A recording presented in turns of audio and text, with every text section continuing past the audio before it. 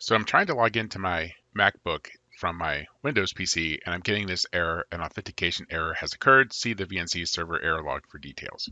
Now, a lot of times what this error means is that I'm not set up on the remote computer side to allow me to log in. So I'll just say okay and stop.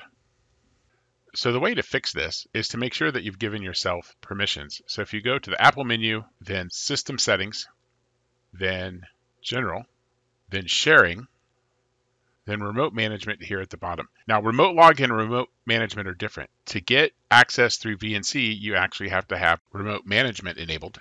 So the first thing you want to make sure is make sure Remote Management is on. You can decide which of these that you want to have set, and then click VNC Viewers Make Control Screen with Password you can click the plus button to add a new user. So then I'll add me as a user.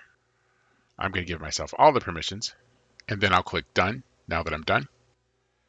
And once I've done that, I can connect. It'll take a few seconds to resolve the connection and I'll enter my username and my password. And now I'm logged in.